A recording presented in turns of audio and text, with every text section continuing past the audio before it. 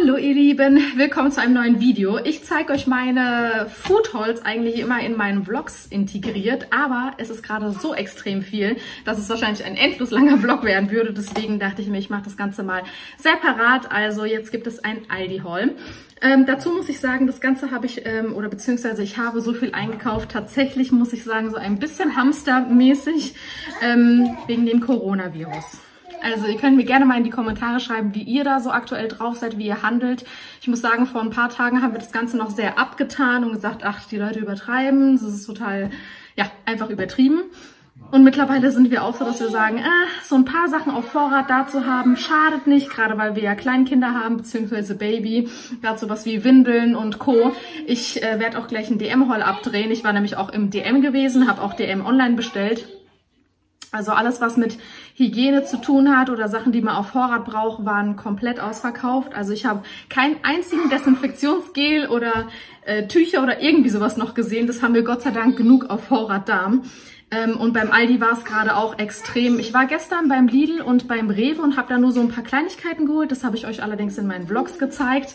Und beim Aldi wollte ich so diesen Grundnahrungsmitteleinkauf machen. Sowas wie Stilles Wasser war komplett ausverkauft. Ich ähm, musste dann halt eben kleine Flaschen holen, da gab es noch ein bisschen was. Milch war fast ausverkauft. Dann sowas wie Reis war komplett weg gewesen oder Nudeln oder Kartoffeln. Alles, was so Tiefkühltruhe war, gewesen ist, sowas wie ähm, wenn, ähm, Obst, Gemüse war auch. Also es war wirklich... es, ich habe es gerade schon in meiner Insta-Story gesagt, es sah wirklich aus wie wenn, keine Ahnung, Silvester, Weihnachten und sonstige Feiertage, okay, Elias, alles hintereinander praktisch ist und man irgendwie eine Woche die Geschäfte zu hat oder so. Also so richtig krass übertrieben, leergeräumt. Ähm, ja, da gab's so die einen, die da mit dem Kopf geschüttelt haben und die Leute, die da so ihre fetten Einkaufswegen hatten, die wurden irgendwie äh, komisch angeguckt und die anderen, die so ein bisschen weniger gekauft haben, die haben dann halt so gesagt, äh, ich habe auch eine gehört, die gesagt hat, ach, voll übertrieben, diese Hamster-Einkäufe wegen diesem Corona und überhaupt, wir leben doch in Deutschland. Ah, ist alles gerade ein bisschen schwierig. Man kann die Situation, finde ich, aktuell noch nicht hundertprozentig genau einschätzen. Deswegen lieber man hat was zu Hause, als dass man dann doof dasteht. So, deswegen das als langes Vorwort, wieso, weshalb ich überhaupt so viel eingekauft habe. Also als allererstes haben wir, oder beziehungsweise habe ich ganz, ganz, ganz viel Wasser eingekauft. Dann habe ich hier mein Multivitamin als Sixpack mal mitgenommen. Dann haben wir auch, oder beziehungsweise habe ich so eine 12er Palette Milch mitgenommen, genau. Ich wollte nicht übertreiben und noch mehr mitnehmen. Es gab nämlich nur noch vier solcher 12er Packs. Das ist echt, echt heftig, was da los war. Auch so Fleisch. Fleischtheke, auch so, gerade so Puten leergeräumt. Ich habe noch wirklich die zwei letzten Rindfleisch, ähm, na, Hackfleisch mit äh, Hackfleisch bekommen, sonst war auch weg gewesen. Also es war richtig, richtig heftig. So, ich habe jetzt hier 1, 2, 3, 4 Tüten. Da gehen wir jetzt mal flott durch. Ich habe zweimal Eier mitgenommen, die anderen sind irgendwo, keine Ahnung. Da kann man gar nicht so viel mehr mitnehmen, die sind nämlich nur bis zum 19.03. haltbar. Deswegen die Sachen, die nicht so lange haltbar sind. Dann habe ich Trauben mitgenommen, kernlose. Dann einmal Milchschnitte, die isst der Lias und mein Mann ganz gerne mal ab und zu. Dann habe ich hier so ein ähm, Bio-Joghurt mitgenommen, von, ähm, also aus dieser Kinderabteilung. Der ist nämlich bis zum 19.07.2020 haltbar. Richtig, richtig gut, weil die ganzen Joghurt, die man so in dem Kühlschrank hat, davon haben wir auch noch genug. Die sind ja nicht so lange haltbar. Deswegen dachte ich, nehme mal jetzt mal was mit, was lange haltbar ist, was man auch einfach in die Schränke stellen kann. Dann habe ich insgesamt dreimal meine Chips mitgenommen. Ich liebe die. Hätte ich auch so mitgenommen, abgesehen jetzt von diesem Worten einkaufen. Ähm, die sind richtig lecker, weil die sind nämlich gebacken. Müsst ihr ausprobieren, super, super lecker. Und sehr viel Paprikapulver drauf, das mag ich persönlich ja sehr, sehr gerne. Dann habe ich zweimal... Sorry, wenn ihr den Lias im Hintergrund hört, der wird gerade gewickelt und da ist er immer sehr motiviert. Ja, Lias. Ähm, ich habe zwei Packungen Brezel mitgenommen. Die essen wir nämlich auch super, super gerne und die halten sich eben auch lange. Dann habe ich ein einsames ähm, Stück Eisbergsalat hier mitgenommen. Die äh, Salate, die wir sonst immer kaufen, äh, diese Salatherzen und so weiter, ausverkauft. Also habe ich das hier jetzt mal mitgenommen. Ähm, dann habe ich insgesamt dreimal, irgendwo ist auch noch die dritte Packung, von diesen kleinen ähm, Datteln-Tomaten heißen die, mitgenommen. Die halten sich nämlich richtig, richtig lange. Also deswegen habe ich da jetzt auch mal ein bisschen auf Vorrat eingekauft, weil wir es aber auch sehr, sehr, sehr viel und gerne essen. Ähm, dann habe ich zweimal Mini-Mozzarella mitgenommen. Dann auch mehrmals Gouda-Käse, der ist auch sehr, sehr lange haltbar bis zum 30.04. Also sowas kann man dann auch auf Vorrat kaufen. Dann habe ich hier Haribos mitgenommen. Ähm, dann dreimal Rahmsoße. Ich liebe Rahmsoße, könnte ich überall drauf machen. So Im schlimmsten Fall könnte ich das echt zu allem essen. Egal ob zu Reis oder Kartoffeln oder Nudeln, geht immer. Und dann habe ich insgesamt 1, 2, 3, 4, 5, 6 Mal Tomatensoße mitgenommen. Denn auch das geht immer. Alles, was im Glas ist, funktioniert ja. So, sind jetzt nur noch die Gläser drin. Nächste Tüte. Nächste Tüte geht eigentlich recht schnell. Da ist nämlich nur Käse und Brot drin. Ich habe tatsächlich die drei letzten Packungen Käse bekommen. Es gab nur noch drei Stück. Das war so krass. Also beim äh, äh, Aldi ist immer eigentlich wirklich, die Käsetheke ist super gefüllt. Also die drei letzten Packungen Emmentaler Reibekäse. Und auch der, der ist auch immer sehr, sehr lange haltbar. 16.04. Also das funktioniert.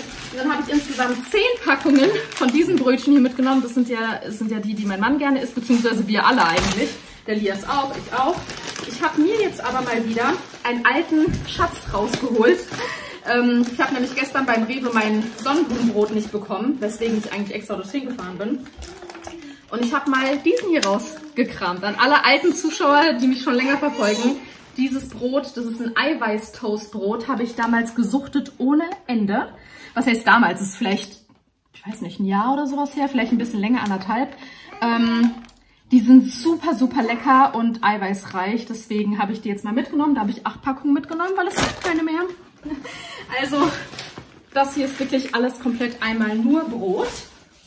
Und auch dafür habe ich mich entschieden, weil die halt lange haltbar sind, gell? Weil diese anderen Brote, die gehen ja relativ schnell kaputt nach ein paar Tagen. Dieses Brot hier zum Beispiel, dieses Eiweißbrot, ist bis zum 23.07. haltbar. Und diese anderen hier bis 14.04. Auch das sind jetzt einige Wochen erst einmal. So, die nächste Tüte ist nur eine kleine. Hier sind äh, die dritten Tomaten, die ich schon gesagt habe. Dann habe ich Fischstäbchen mitgenommen. Funktioniert alles, was eigentlich Tiefkühltruhe ist, funktioniert. Dann habe ich hier zweimal Wurst mitgenommen. Die sind bis zum 19.03. haltbar, deswegen das geht auch noch. Ich habe in der Tiefkühltruhe ähm, Burgerfleisch gefunden, was eingefroren ist. Also richtig gut. Deswegen, das habe ich mal mitgenommen. Ich dachte mir, das funktioniert auch immer. Und dazu passen dann eben hier die Burgerbrötchen. Die sind auch relativ lange haltbar, 27.04. Ähm, also funktioniert auch. Und dann habe ich hier noch diese Spitzpaprika mitgenommen, weil von den anderen Paprikas habe ich, glaube ich, nur zwei Packungen mit, äh, also bekommen noch. Alles andere war weg gewesen. Deswegen habe ich jetzt einfach mal die mitgenommen. Die sind auch super, super toll und lassen sich vor allen Dingen auch viel besser schneiden, finde ich. Ähm, Ursprung Marokko. Ah, interessant. Okay, ähm, ja. Paprika auf jeden Fall. Dann habe ich auch zweimal hier unseren Pflanzenfettcreme mitgenommen. Die halten sich ja auch ewig, die stehen äh, im Schrank, die müssen nicht gekühlt werden, von daher aus brauchen wir halt auch immer. Dann habe ich für mich hier einmal Leberwurst mitgenommen und einmal hier so ähm, weiße Schokolade, so Kuvertüre, die man eben schmelzen kann. Ich habe nämlich gestern im Rewe ganz viel, ähm, ganz viele Erdbeeren mitgenommen und ich habe das früher immer gerne gemacht, die immer mal so eine weiße Schokolade zu tunken und das habe ich irgendwie gerade mal Lust drauf, deswegen habe ich die mitgenommen. So, und jetzt kommt die letzte Tüte, aber die Tüte ist größer als alle anderen davor, also alle drei zusammen sozusagen. Deswegen, ich versuche die gerade mal hier hoch zu buchten.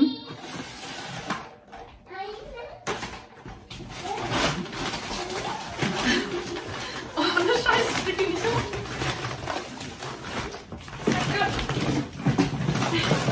Okay. Kennt ihr diese Tüten von Poco Domena? Die sind ungefähr so groß wie diese blauen Ikea-Tüten, aber noch ein Stück größer. Und die ist einmal komplett voll. Verrückt. Also, Kartoffelpüree.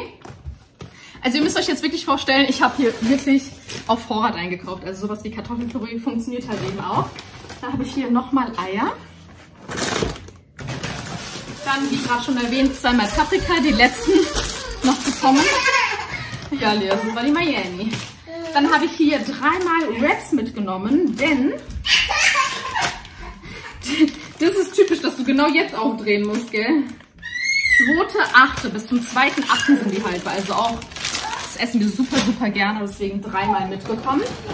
Dann habe ich auch, glaube ich, gerade schon gesagt, Hackfleisch. Die zwei letzten Hackfleisch-Packungen ähm, habe ich bekommen, weil wir essen nur Rind, äh, Rindhackfleisch und das ist wirklich, waren die zwei letzten, da habe ich mir die direkt mal geschnappt. Denn sowas kann man auch einfrieren. Funktioniert auch. Hier ist die zweite Pflanzenfettcreme. Dann habe ich hier so Eierknöpfel mitgenommen. Die lieben wir auch. Die sind so, so, so lecker und auch ein bisschen länger haltbar. Dann habe ich hier so Gnocchi mitgenommen. Zwei Stück, die sind bis zum 2.10. haltbar. Also auch mega, mega lange. Deswegen sind da auch direkt mal zwei Packungen mitgekommen. Dann die Eierknöpfe habe ich nochmal mitgenommen. Lecker, lecker, lecker. Dann hier dreimal noch Gouda. Ich habe euch vorhin schon eingezeigt. Also insgesamt vier Packungen. Genau. Dann Kartoffelpuffer. Lecker, lecker, lecker. Dann habe ich jetzt was mitgenommen, das habe ich noch nie ausprobiert. Ich habe keine Ahnung, wie gut das schmeckt. I don't know. Und zwar ähm, Hähnchenputenbrustfilet-Teile. Einmal so Natur und einmal, wo dann noch so ein bisschen Kräutermarinade mit drauf ist.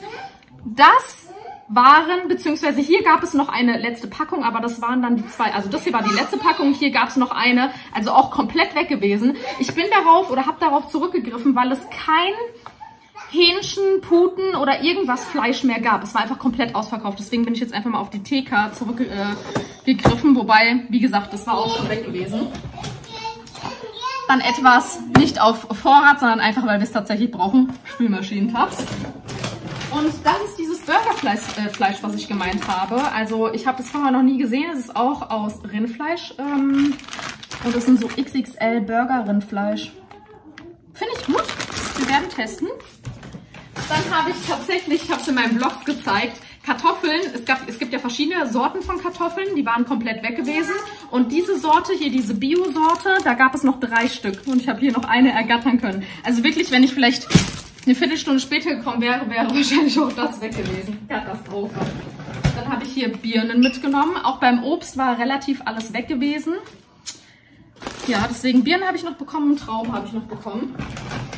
Dann habe ich zweimal hier diesen, uh, mir das hier gleich hinfällt, habe ich zweimal Pizzateig mit Tomatensoße mitgenommen. Einmal wollen wir das jetzt gerne machen und das zweite habe ich mitgenommen, das ist auch bis 27.03. haltbar, also auch ein bisschen noch.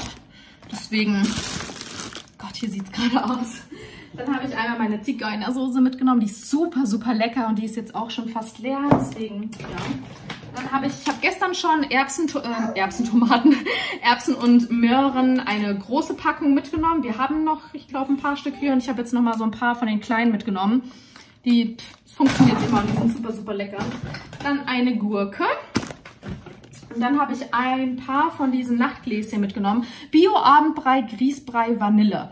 Genau, also das geben wir den Dias ab und zu mal. Es ist sehr, sehr selten ge äh, ge geworden. Wirklich, wenn er gar nicht essen möchte, dann kriegt er das. Ich habe das letztens mit Müsli, also ich habe das ähm, warm gemacht und dann Müsli reingemacht und das hat er sehr, sehr gerne gegessen. Es ist dann auch viel sättigen, äh, sättigender. Also super, super lecker, schmeckt einfach, also es ist Grießbrei Vanille. Genau. Ihr Lieben, und das war's. Also wie gesagt, hier unten steht jetzt noch jede Menge Wasser und Milch, halt eben Getränke. Ähm, ja, ist schon einiges. Ich werde das Ganze jetzt mal verräumen und würde sagen, ihr könnt mir gerne mal, wie gesagt, in den Kommentaren einfach schreiben, wie ihr da momentan mit umgeht, ob ihr auch so ein bisschen hortet oder ob ihr sagt, nee, ist alles Quatsch. Ja, ihr Lieben, das war mein XXL Aldi Einkauf. Ähm, wenn ihr irgendwelche Fragen habt, ab in die Kommentare damit und ansonsten gerne eure aktuelle, ja, ja, wie ihr einfach damit umgeht, dass dieser Virus mittlerweile in Deutschland angekommen ist und sich rasant ausbreitet. Also ich bin gespannt auf eure Kommentare, ihr Lieben. Wir hören und sehen uns in den nächsten Videos wieder. Also macht's gut. Ciao, ciao.